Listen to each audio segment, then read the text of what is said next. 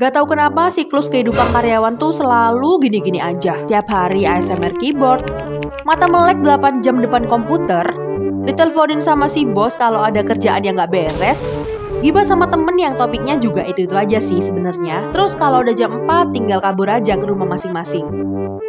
Besoknya begitu lagi dan repeat. Entah sampai kapan kehidupan ini akan selalu begini, karena rata-rata siklusnya ya sama aja gitu. Nyampe rumah, kitanya tepar gara-gara seharian mentelengin layar. Tapi aku mau tanya sama teman-teman karyawan semua, pada sadar nggak sih kalau rumahnya tuh udah kayak kandang sapi gara-gara nggak pernah dibersihin? Ya gimana mau sempet ngebersihin coba? Orang tiap hari pulang kerja langsung merem, terus kalau weekend juga malah sibuk cari info healing. Info! Info, info! Pernah kepikiran sih, ada nggak ya jasa buat ngebersihin rumah yang cepet dan murah? Wajar lah ya, kita karyawan carinya yang murah karena gajinya emang pas-pasan aja.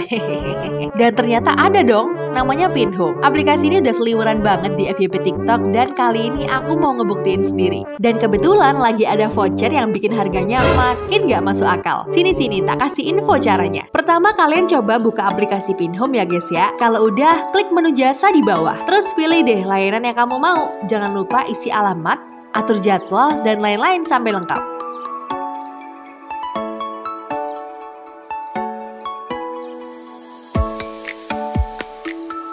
Dan sebelum lanjut, jangan lupa untuk pakai kode promo Bosko gitu untuk dapetin diskon sebesar 30.000. Dan kamu nggak perlu khawatir, karena pemesanan jasa di Pinhome ini aman dan nyaman, customer service-nya juga responsif. Kamu tinggal duduk cantik, beres deh.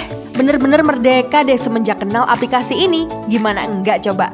Kita makin dimanjain sama layanan-layanannya. Dan khusus area Jakarta, ada layanan spesial yang bisa kamu akses yaitu Hair and Nail Care. Jadi kamu bisa me time sambil nunggu rumah bersih deh.